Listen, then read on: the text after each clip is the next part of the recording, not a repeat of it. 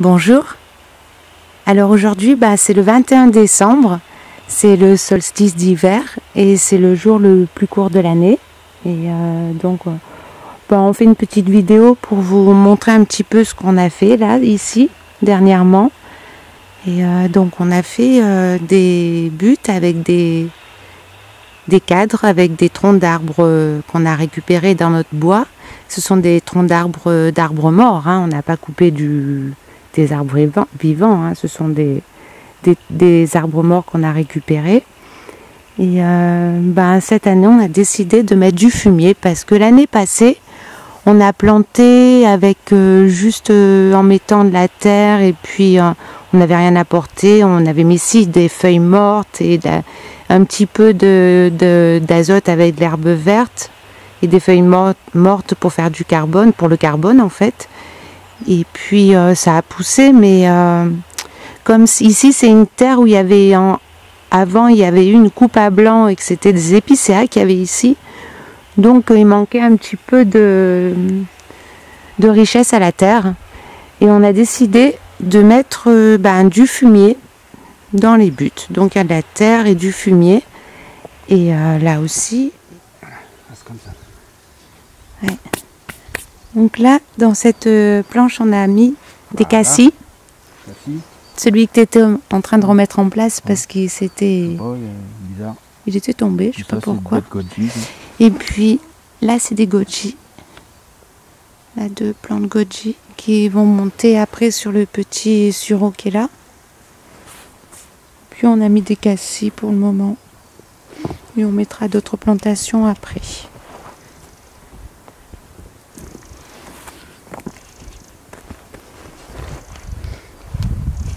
Là-bas quand on va faire. Allez, on y va.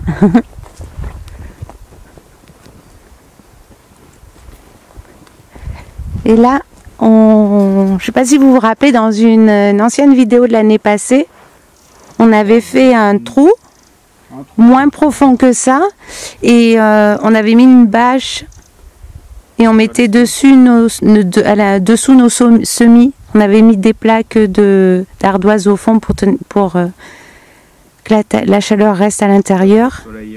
Puisque le soleil passe là. Le moment ce qu'on va faire. Et euh, on a creusé. Ouais, vas-y. On va creuser un mètre cinquante, deux mètres si on peut. Faire une petite walipini. Si on peut, si on peut creuser. Faire ça sur, je sais pas là, comment 4 mètres, 5 mètres. 4-5 mètres de long. À peu près un petit 6 mètres sur, on va faire sur 3. Ouais. Après, soit on fait avec des arceaux qui nous restent là, comme ça. Ou avec euh, des gros, des chevrons, je sais pas quoi, comme ça, là, bâchés. Là. Mm. déjà en premier temps, on va creuser. Un peu plus profond. De toute façon, il faut qu'on creuse profond. Et puis, de toute façon, le temps qu'on creuse tout ça, il va se passer un certain temps. Donc déjà on va creuser ça, mettre euh, ça de fumier dans le fond, couvrir et ça fera une couche chaude. Avec un passage au milieu hein Si euh, c'est plus profond, il faudra un passage au milieu pour marcher. Et puis des deux côtés, euh, ce côté-là du fumier, ça fera des couches chaudes pour mettre des semis. un passage au milieu tout le long et l'autre côté aussi On peut faire ça, là par exemple, ça c'est une zone de culture. T'imagines là c'est une zone de culture Ouais. Là, tu fais un passage. Ouais, là, tout le long, ouais. Tu encore une zone de culture. Oui, c'est ça. Donc euh, là, bah, il, faut, il faudrait creuser encore en moins jusqu'à là. L'allée, la creuser à la même profondeur que là. Hmm. Puis comme ça, on mettra le fumier là, avec un coffrage, des planches qui retiendront. Oh, une bonne épaisseur. Du fumier là-dedans. Le fumier est gratuit. Oui. Contre 3 euh, heures de boulot par semaine Oui, c'est un troc. On a fait du troc avec le centre équestre on nettoie leur box et... Le troc marche, bien ici. Ouais, on a... On, ouais. On nettoie leur box et on récupère le fumier. donc voilà, il faut creuser, puis après, euh, réfléchir comment couvrir. comment couvrir, et puis en espérant que ça... Ben, moi, j'avais pensé aussi à faire mettre des planches là. Où? Une structure en bois tout le tour, en pente. Comme ça, en pente. Quoi? Mettre des planches, non là tout le long là. Tout le long là et puis qui redescendent là là-bas. Sur les côtés trois côtés. Et avec euh, du verre qu'on récupère dessus. T'as vu la surface? Ou des bâches ou de la bâche. Oh, ça va être de la bâche hein. on a de la bâche hein. hmm. si on n'arrive pas à trouver du verre de la bâche. aller chercher la grosse serre là-bas on a récupéré la bâche. Oui ou de la bâche. La bâche, ça dure moins longtemps. Longtemps, oui. Oh, le verre, moi, je pas le verre. Non, là, on n'en a pas. Du polycarbonate, ce serait bien. Si on n'en trouve pas, on mettra de la bâche. Du aussi, ça. Mm. C'est avec ce qu'on a. Hein, Oui, si on n'arrive pas à trouver ça, oui. Ouais, sur le bon coin, si on trouve des choses pas chères ou à donner. Mm. Donc, dans la serre, on va y aller. Et euh, je sais pas si vous vous rappelez, mais euh, on avait fait la, dans une vidéo précédente, je sais plus, donc il y a 4-5 vidéos, ouais, 4-5 vidéos précédentes, on avait dit qu'on allait mettre un petit poêle dans la serre pour chauffer la serre, mais en fait, euh, ben, c'était une bêtise. Parce que ben, le poêle est petit déjà, et puis, euh, il faudrait l'alimenter toute la nuit pour que ça chauffe, parce que là où les, températures sont le plus basses, ben c'est euh, vers 4-5 heures du matin. Et du coup, on n'est pas là pour euh, remettre, on revient pas dans la serre pour remettre du bois. Donc, on a laissé tomber l'histoire de du poêle dans la serre. Bon, il est toujours là, mais du coup, on l'utilise pas. Et on a mis, on a fait un un cadre. En fait, on a fait un petit coffrage ici. Et puis, on met du fumier dedans. Donc, ça fait une... Ça chauffe. Ça fait une couche... Euh, une, une grosse couche de fumier. Donc, c'était jusqu'ici. Puis là, ça s'est un peu tassé. Donc, il faut en remettre. Et ça permet de dégager un petit peu de chaleur pour la serre. Et, c'est... Franchement, jusqu'à maintenant, ça fait quoi Une semaine qu'on a fait? Et jusqu'à maintenant, ben, ça se passe bien. Et euh, donc là, on voit la température. Alors on l'a mis dessus pour protéger l'humidité. Parce que il y a des gouttes d'eau. Je ne sais pas si vous voyez, il y a plein de gouttes d'eau. Il y a plein de condensation dans la serre. Donc du coup, on a mis ça à l'as plastique pour protéger la enfin le petit cadre. Et euh, il y a une sonde qui va dans le fumier. Donc euh, à l'intérieur, il y a 64 degrés et à l'extérieur, là, dans la serre, on a 22 degrés. Euh, enfin, ici, on a 22 degrés. Donc, euh, ben là, c'est bien tassé. Il faut qu'on remette du fumier jusqu'en haut. Et sinon, dans la serre, on a ben, toujours des choux cales qu'on mange tous les midis en salade. Des radis daikon aussi. Alors, les radis daikon, c'est super bon râpé avec des feuilles de choucal ou avec euh, des carottes râpées aussi. C'est très très bon ça. Et même les feuilles se mangent. Donc nous on les mange en salade. Et euh, c'est un petit, ah, c'est un tout petit peu piquant, mais les feuilles sont un peu piquantes, euh, mais douces quand même. Mais c'est très très bon quoi. Elles sont très très souples. Elles sont plus souples que les les choux et euh, c'est très très bon en salade. Et puis les radis daikon, eh ben, ils continuent à pousser. Hein. Il y en a tout plein. Il y en a des nouveaux qui commencent à pousser. Donc il nous reste quoi? Des choux. Euh, ah oui, il y a des blettes au fond là-bas. On a, il nous reste ben, d'autres choux qui commencent à tout petits là, qui vont grandir. Des blettes, voilà, il y a des blettes qui poussent aussi. Euh, des salades. Alors ces salades-là, c'est les Castelfranco. Donc normalement, c'est une salade qui est très claire, presque crème avec des taches rouges, mais je ne sais pas comment ils font pour avoir la couleur crème. Mais je pense qu'ils doivent euh, les laisser à l'ombre parce que nous, les feuilles sont devenues vertes. Et je pense que la, salade fait la photosynthèse et devient verte euh, parce qu'elle n'est pas dans l'ombre.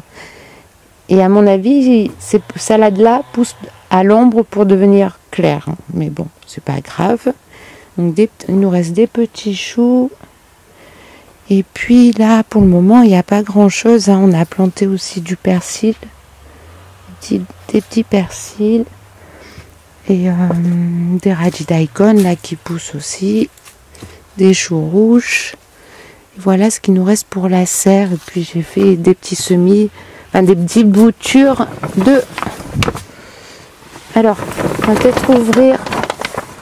C'est juste des boutures là de mélisse, de chou d'aubenton, de thym, de thym rampant, euh, là, ben, on a la plante qu'on avait euh, récupérée. C'est une plante qui vient de du Liban, des montagnes du Liban. Mais apparemment, la dame, la dame qui nous l'a donnée nous a dit que c'était euh, un basilic du Liban, mais en fait, je sais pas. Donc, une autre personne nous a dit que c'était du comment ça s'appelle? De la menthe bergamote. Alors, à savoir. On va voir ce que ça donne. Et puis pas grand chose. Hein. Un olivier qui en a laissé au chaud. Un petit figuier et des choux au que j'ai fait en bouture comme ça. Les branches se sont cassées. Là, des choux au binton qui sont dehors. Donc j'ai essayé de les mettre dans l'eau pour voir si ça fait des racines. Et par contre, là, les, ces choux au binton là, c'est euh, des boutures. Pour euh, décembre, euh, il n'y a pas grand chose. On n'a pas fait grand chose d'autre en bouture. On attend un petit peu fin février, début mars pour faire autre chose, d'autres semis, d'autres boutures.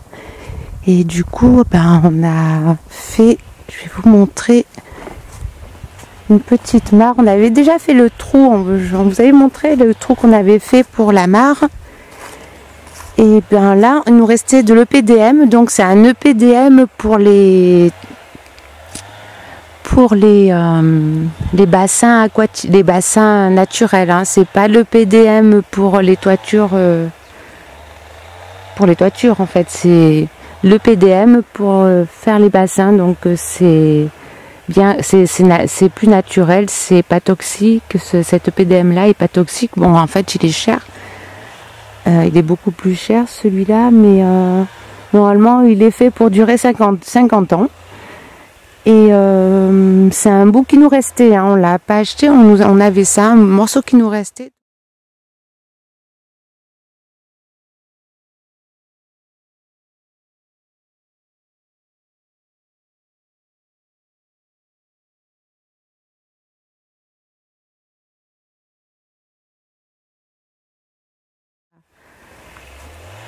On va remplir d'eau. Il y avait un petit trou là, ici. Mais euh, David l'a colmaté et euh, normalement on va voir si c'est étanche. Donc on a fait un petit bassin ici et comme ça on aura de l'eau. L'eau ne va pas s'infiltrer parce qu'on a une terre euh, qui est pas du tout argileuse, hein, qui est très acide et, et qui retient pas l'eau du tout. Donc du coup là ça, ça va nous permettre d'avoir de l'eau tout le temps. Et puis si l'été le niveau baisse, ben, on a une pompe solaire et puis on a une rivière à côté, donc on pourra toujours alimenter l'eau et remettre de niveau.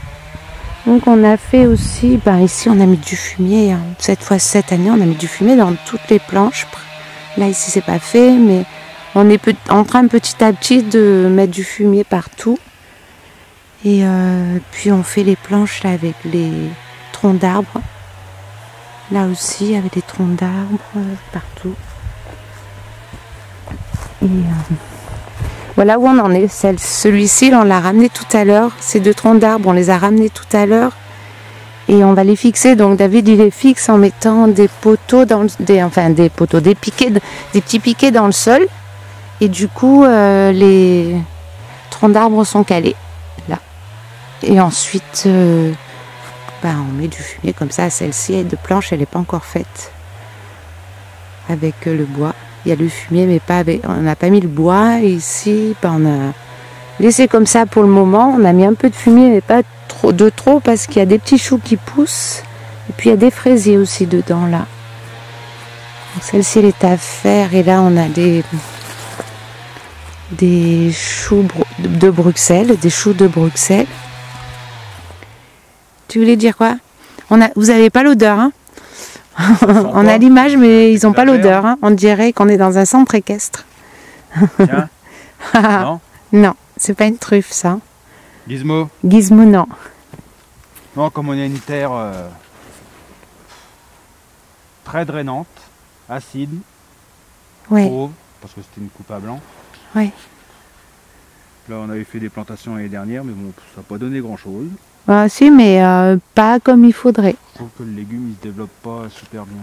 Il reste euh, rikiki. Donc on a fait du troc avec euh, l'écurie. Ça, c'est- Et puis euh, on récupère le fumier. Puis bah là, comme c'est l'automne-hiver, on, on peut utiliser le fumier frais apparemment sur les planches de culture. Moi j'ai mis quoi? 10 cm. Hmm. Donc ça va se décomposer un petit peu. hein. et puis euh, dans, dans l'hiver, et puis au printemps, on remettra une couche de terre dessus. On mélangera ça un petit peu, incorporer, au- incorporer le fumier à la terre, mais en surface. Puis comme on va creuser là-bas, Oui, la terre qui est là-bas, on On la récupérera. puis en espérant que ça améliore la- le sol. Ah bah il n'y a pas de raison, on verra bien. Mais bon, ça va pas se À faire, suivre. euh, ça va pas se faire en une année. hein.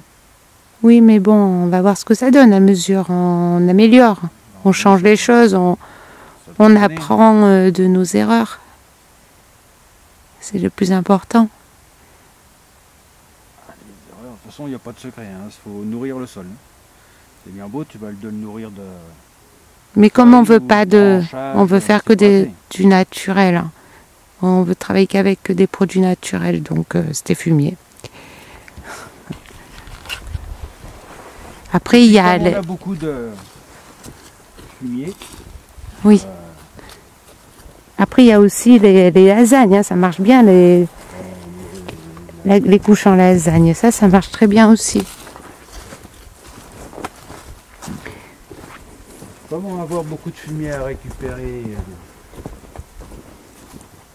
vais faire plusieurs coffrages comme ça pour dehors. Oui, là t'en as fait un aussi. Du T'as mis de le PDM dessus?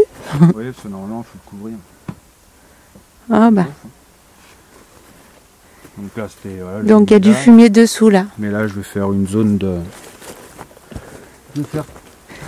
Alors- 6. Ouais. On va mettre 3 là, je pense. 3 là. Ça, tout sera sous les arbres. Donc ce sera à l'ombre. Sauf qu'ils auront le soleil du matin, mais bon, c'est pas grave. On va tout combler. Et puis, au fur et à mesure, ça se transformera en compost. Et puis peut-être qu'au bout d'un an ou deux ans, en terreau. Hmm. Puis bah, de toute façon, le fumier frais, on peut l'utiliser. Automne-hiver. Après, au printemps, bah, on utilisera bah, le compost qu'il y a dans la serre. hein, parce que de toute façon, ce- ce- le fumier sera tra- transformé en compost. Puis ça aussi, logiquement. Donc Oui. quand, quand tu feras des plantations, euh, bah, tu mettras du compost. Oui, quand ça sera devenu du terreau. Oui, du compost. Après, en plus, non, rien n'empêche de mettre euh, de l'herbe, euh, des feuilles. euh, Mm. Avec la sagne, là, ça fait un paillage aussi. hein. Et il faut de l'animal aussi, quand même. Voilà. Voilà.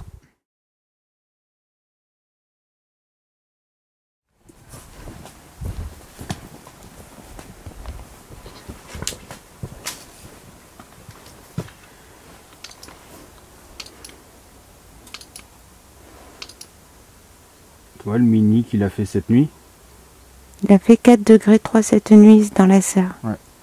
Mais bon, euh, c'est posé là-dessus, puis euh, je sais pas si ça. Parce que ça, ça doit être stable, ça, je sais pas, peut-être 10, 15 degrés, j'en sais rien à combien c'est. Mais bon, peut-être qu'elle, la sonde, elle est par là, donc. euh, non, ça doit, doit être la, la sonde. Donc si tu fais des semis ici, de toute façon, ce sera au contact de ça. Puis de toute façon, si tu fais des semis, normalement, tu dois couvrir. Ce sera un lieu fermé, et puis on fera meilleur. Mais toi, tu peux savoir combien il a fait minimum cette nuit 4. Bon, ce serait bien d'avoir un toit, là, il a fait 4 par là. Ce serait bien de savoir combien il a fait là-bas. Ah oui, il a fait ça peut-être Bah, plus façon, froid. cette nuit, il a gelé, dehors. Ah oui Bah oui, Ah oui, ce matin c'était un, un petit peu blanc. là, c'était le mini. Tu vois, le mini de ça, là, de la couche à l'intérieur, 63. Oui, Et le maxi, 66. Oui. Voilà, ça fait une semaine que c'est comme ça, là. Hmm. Et quand on va retourner chercher du fumier, on va en remettre. hein. ben oui. On va recombler là jusqu'en De toute façon, dans... maintenant dans 5 semaines, il faudra tout remuer pour relancer euh, bah, la, comment on dit, je sais pas, la fermentation que pour que ça rechauffe. Mm. Parce qu'au bout de, au bout de 6 semaines, ça doit descendre en température. Donc là, tu le, retournes, puis ça repart. Encore du boulot? Oui, on a plein plein de choses à faire.